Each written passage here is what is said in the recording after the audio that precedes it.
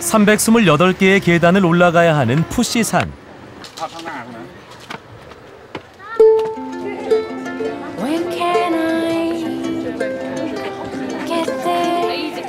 산 정상에 전망대가 있다. 사람들은 이곳에서 일몰을 기다린다.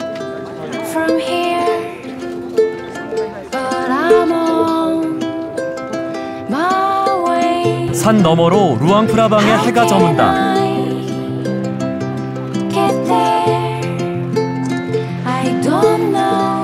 저버린 해를 아쉬워하며 메콩강과 칸강이 만나는 강변에서 루앙프라방에게 작별 인사를 했다.